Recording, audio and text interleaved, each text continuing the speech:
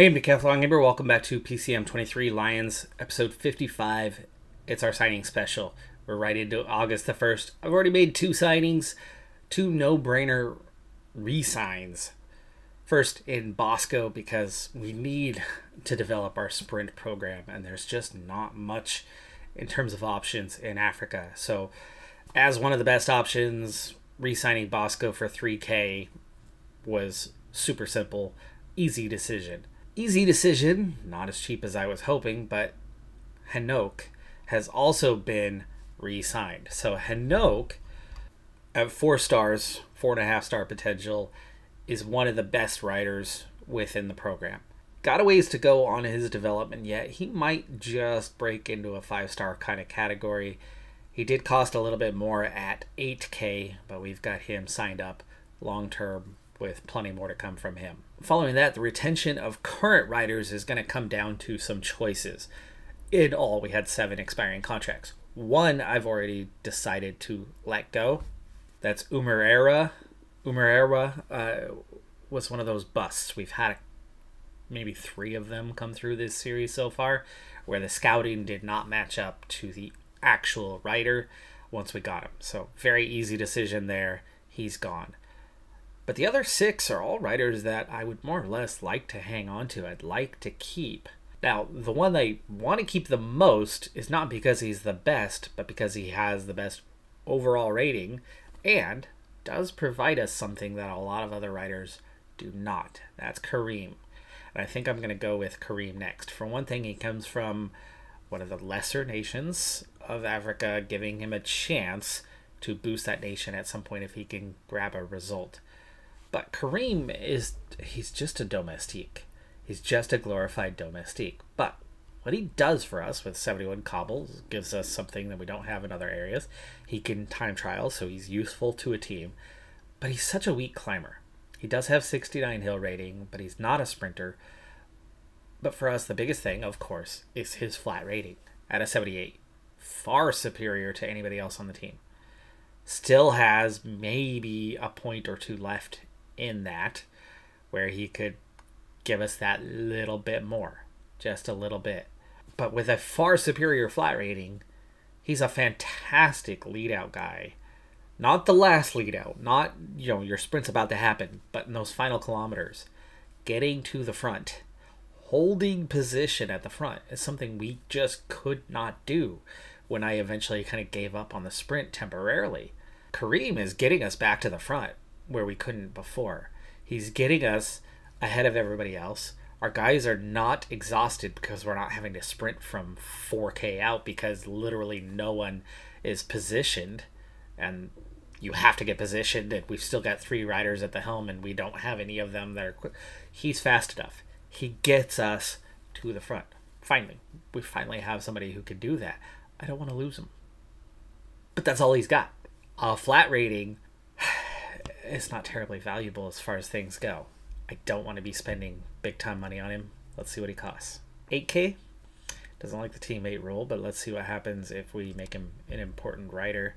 Uh, let's see if we can offer him a little bit less. Somebody I want to have on the team. So if we can lock him down, we're going to lock him down three years.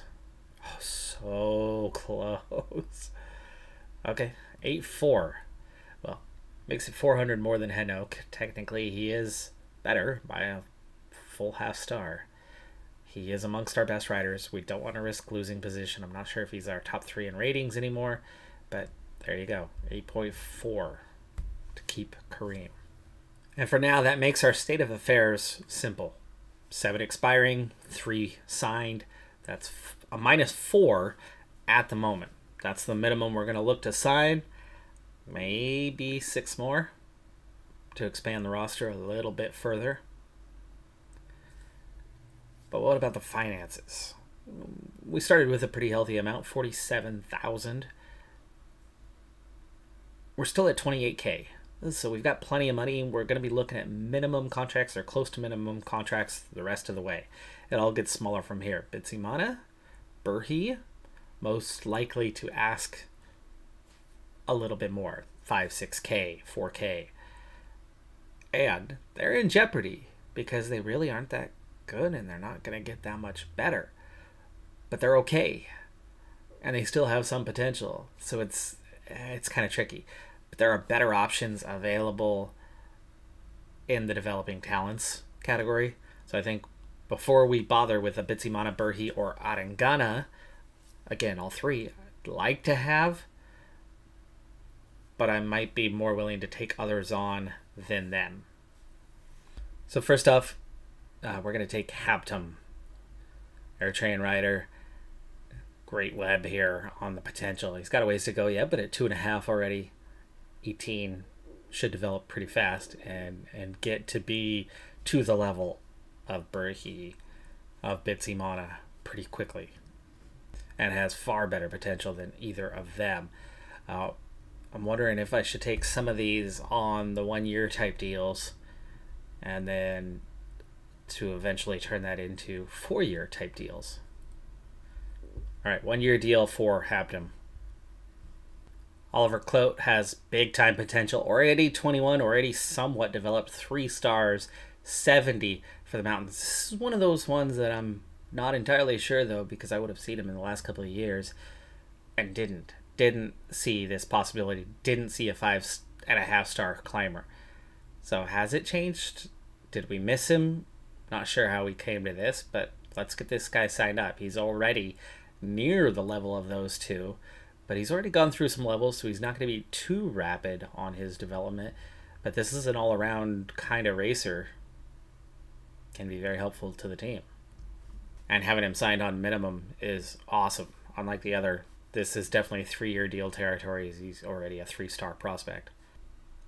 Next up, the best sprinting prospect we have seen. Period. That's it. Best we've seen.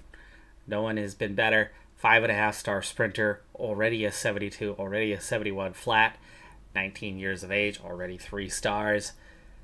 He'll be rapid. A similar mold coming up next where they can both climb and are punchy and not terribly rated in kind of the other areas where they're decently well rounded, just about all rounders. At this point, I've spent 10 of the 28k we had remaining on four riders, minimum contracts, one of them on a one year deal, the others on three year deals. So, four prospects, high end prospects, better than the guys that have expiring contracts, other than Hanoak is similar in, in the mold to those riders.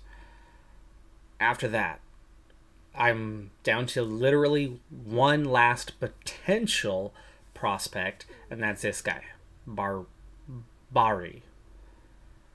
The Tunisian Bahri is a two and a half, four and a half potential.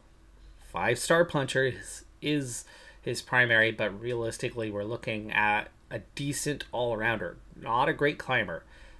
He'll have okay time trialing, so he could be useful in a team time trial. He has an okay cobble rating and an okay sprint. But what all does he really give us other than being a potential puncher climber. Uh, cobble puncher, sorry. 69 hills already, but only a 59 cobble rating right now. He's far from anything that he will become, other than right now he does show up as a decent puncher with a 69 acceleration and that 69 hills rating. Other than him, I'm now down to the potential re signing of our three guys seven signed, seven outgoing. So any additional signings we do will be expanding the roster and putting more strain on the budget. So we have to think carefully at this point. So the first guy, Arengana, three and a half star current, three and a half star potential. He has a lot of room to grow as a puncher, but he's only got a 63 hills rating. 72 mountains, 72 medium mountains, 70 stamina is not great and there's really not a lot left in his growth in that area. I think we can probably let him go. I think Bahri's probably a better prospect than he is. So next up to evaluate is Berhe. Now Berhe's greatest strength probably is that he's Ethiopian, but it's not a 1-1 nation. It is a 3-2 nation. So for him to grab wins, it's going to take something pretty big. to grow Ethiopia uh, from him. He's been a decent servant for us.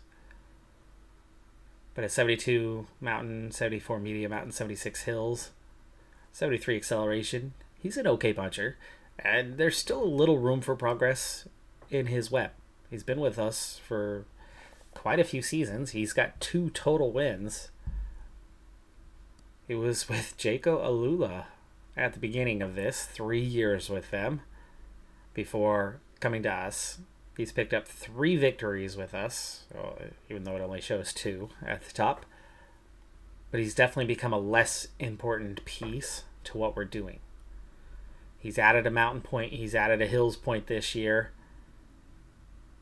But his progression is pretty slow. He's already 26.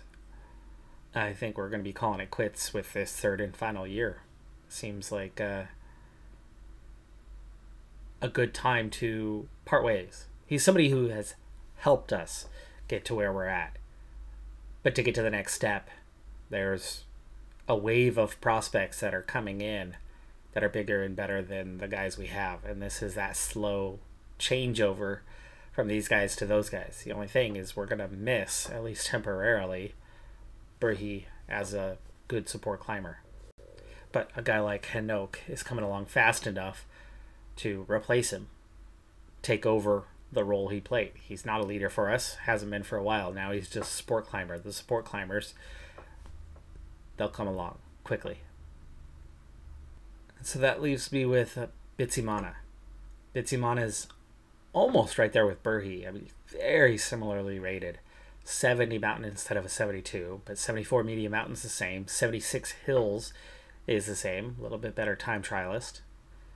Stamina is very similar, recovery is similar, similar. Acceleration's a couple points lower, good downhill. But then what about the prospect? How much better is he going to get? The answer is not a lot better. And that brings me back to Bahri, 18 year old prospect, puncher. Looks like he'll be better than either of those two eventually. Not a better climber, though. But that cobble rating, that sprint rating, that combination, hills, cobble, sprint, that that could score a win somewhere somehow. Baroudeur means he's going to have a good flat rating. Maybe. Usually. But between Sprint and Baroudeur, it means he should have a good flat rating. That could also be useful for us, right? More than one guy besides Kareem who can help set up a sprint. Not a great prospect. Really not. And Tunisia's a 3 3 nation, so it's. You could expect more. But we have some money to throw at this. But this is the one that I'm iffy on. So instead of signing him to a three year deal and being locked in, we're going to go ahead and just sign him to a one year deal. This is going to expand the roster by a single rider for a minimal cost. And if I don't like him, he's gone in a year. New team profile for the upcoming year is unchanged. The guys that we're losing weren't big enough to affect the profile of the web. The guys we're replacing them with are younger, better prospects, but overall we're we're gonna get slightly worse. I mean, I am letting three decent writers go for five bigger prospects. Long term, it's gonna help us out. Short term, might hurt us a little bit next year in terms of our depth, but I think our growth of the prospects we have now plus the new prospects will make up for it. I think we'll be in the same boat next season that we're in right now. Here's the issue. In terms of our placement, right now, index wise, we're 22nd. That's great. But we were higher than that last year at the start of affairs.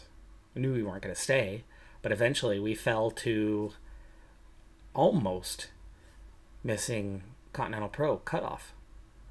We've not gotten better. Samuels is the same rider he was a year ago. No change.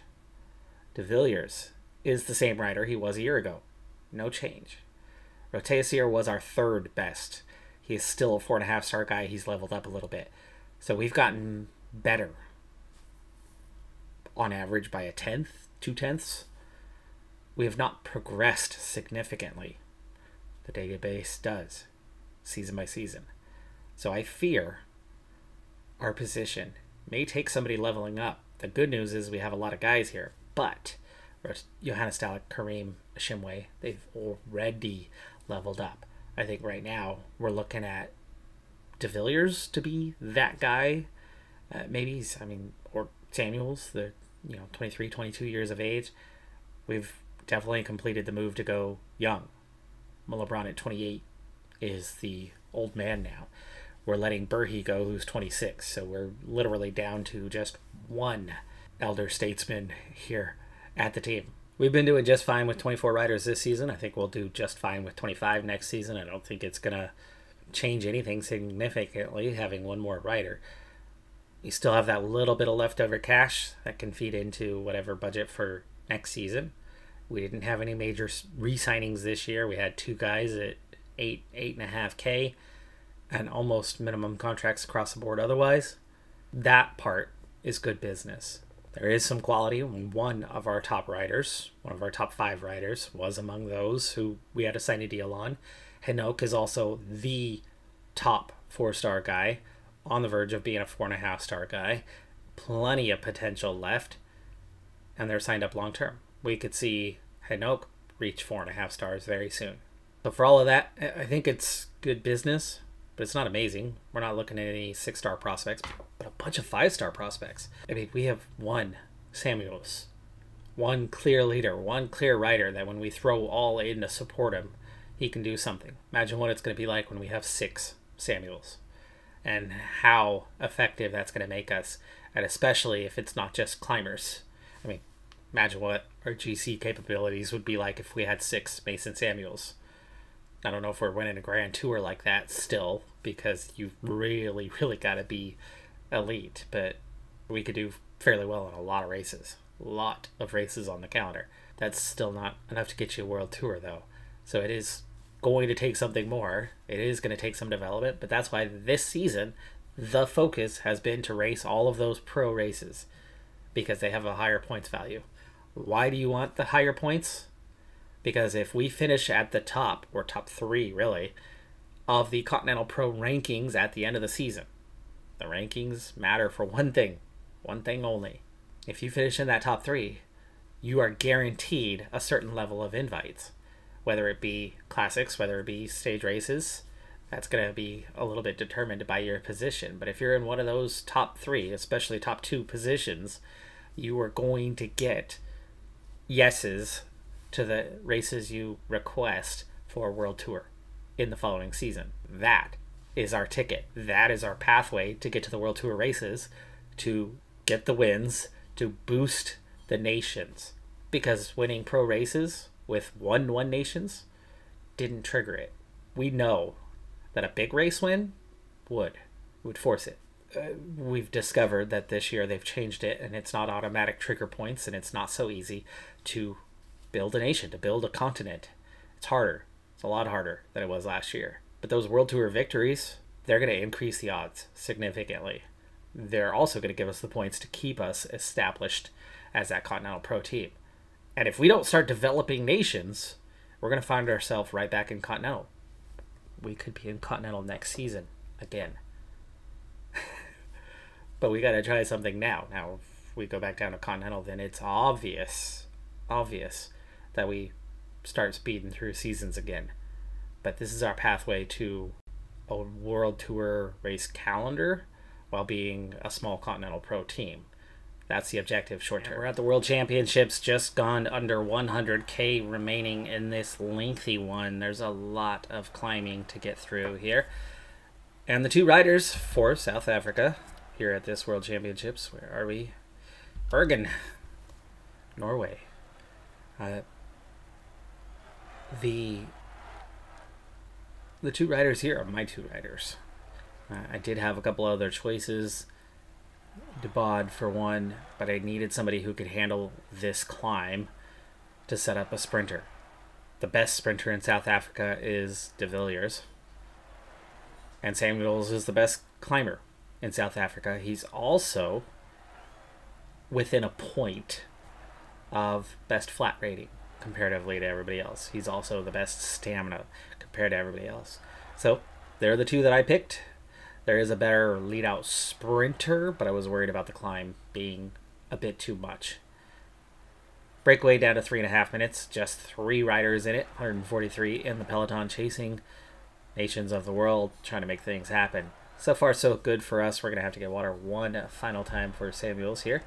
Not much fatigue. There was a fight early on on establishing the breakaway, and our two guys didn't fare too well through that period, but things lightened up and have been pretty easy going since.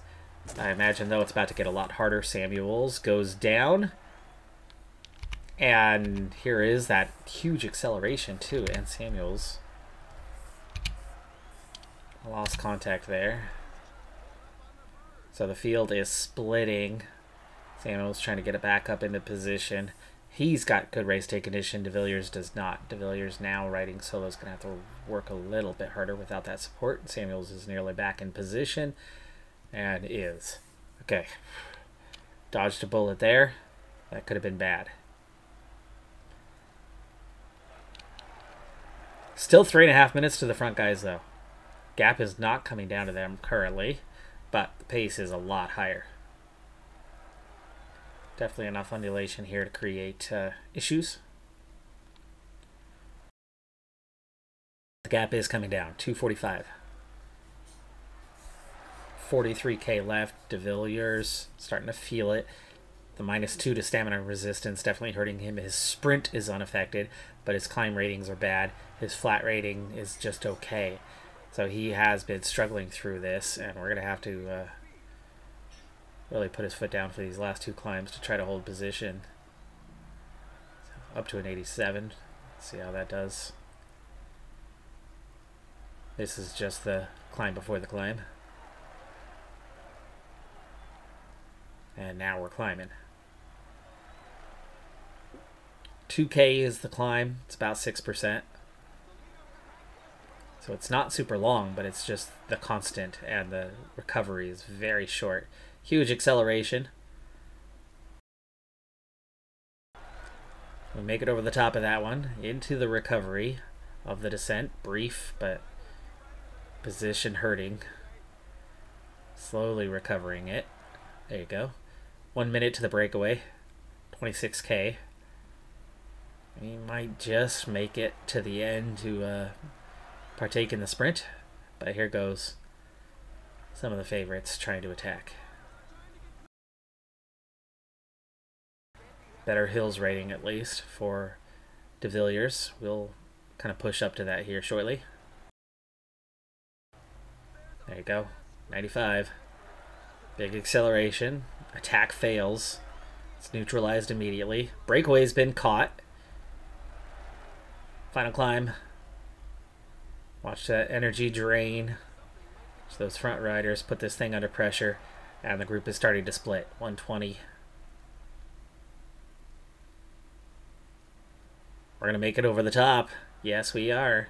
106. 11k to go. Little recovery will help us. Samuels will be able to lead this out. He's doing a little bit better energy-wise, but De Villiers is the better sprinter and does have enough. And the field has split, and it's 50, 45, 6K. Okay, we're in position. How many sprinters are left? Gel and gel and here we go. Samuel's obviously to the front. Mm, let's try not a 99. Let's see what a 96 will do for us. Foot down, improve the position. De Villiers. Gotta go with him, bud. Gotta go with him. There's some space. 2.4. Okay, full 99. 1.9. Fairly well positioned. Not a lot of red bar, though. 1K, De Villiers. Can he get a top 10? He will not get a top 10. He's out of red bar. He's out of energy entirely. Samuels is going to catch back up to him. Jake Stewart has taken the win. Henry Bond second. It's a UK 1-2. Philipsen Milan and Ewan and De Villiers fade. Samuels, he, he was a couple bike links ahead, and Samuels comes back. Does not overtake him at the line. They both finish in the top 25. Uh, it's okay, but we were hoping for more. That came down to that minus two, though. Really did. We protected him. We set him up well, but he faded so fast in that sprint, in that final kilometer. He just could not hang, and that's all those reds, all those reds to his attribute. On to the time trial, and Stefan Bod has gotten the nod for this one. I think an 82 is probably a bit hard once we get him settled in, though, and get him up to speed, which he's there now. Uh, we'll bring it down to about a 78 yellow bar mattering the most, except for on the climb at the end for this individual time trial at the World Championships. Yeah, even that 78 seems to be too much, too fast. He's not keeping up with that. De Bod's only a 72 time trialist. Carolus from our team nearly got the selection. He was the other one, but he's a little bit weaker as a climber and a little bit weaker as a time trialist. And de Bod, at least he's set up for this. Uh, 75 mountain today, 75 time trial today, 77 stamina today, all helping him out a little bit. 78 was definitely too hard. The 76 seems to be fairly neutral. We're making good ground on this rider ahead of us. Wout van Aert's already at the top of the standings ahead of Sobrero and Coleman. And we have 16k to go. The 76 seems to be making up ground, and we're Cerny's pretty decent check rider. It's a good time trialist. We're third at the first time check. I think by the time we reach the climb, we'll have a positive because we seem to be just a little bit the right side of things on a 76. The 78, it was a little hard. The 76 seems to be making up just a little bit of ground. We went a little deeper on that portion of the climb, though. We're going to have to back off a little more. Let's try a 75 here. About to hit the climb. Not a great climber, so he's going to lose time. But he's been kind of consistent. The time trial and the climbing are the same. I don't think we're going to be particularly high placed here. But we only get one rider. We only get one shot at it. And he's nearly out of energy with still over a K to go, which means we got to back off even more to get there. He's going to lose a lot of time. Yeah, here comes Cerny coming back at him. Oh, he's out. Out of energy. Out of energy. Loses a little more ground there. Overall, though, not too bad. 27th, 350 down. Brandon Jones, who doesn't even have a team, has put in the 8th best for the UK. Well, Van Aert, is he going to win it, or will it be somebody else? There shouldn't be too many riders left. Uh, we are a very minor nation, so we're at the end of the list, but you're down to the lead rider of all these teams. Now, I suspect we're going to drop a fair bit. I mean, we're at 31st already. 32nd. Rider after rider. Here's Roglic. 32nd for him. Van Dijk. Bissegger. Time trialist, but not a great climber. Foss. Definitely a bit better. Fourth for Foss. Cavagna. Almeida, sixth. Vingegaard, 31st. Wow, did not come in ready for this race, did he? Ayuso, 12th. Evenepoel goes second. Wow, Van Aert claims a win. It's a Belgian 1 2 3. Phase takes third. Uh, Foss ended up fifth. Sobrero fell to fourth. Asgreen came in late, sixth. Almeida, seventh. Cavagna, Coleman, and Reynolds we were a bit off the pace. Stefan Bod never looked to actually compete for anything. We were good at the first time check. Maybe we went a little too hard though. If we were that good at the first time check based on our ratings, we suffered for it at the very very end on the climb.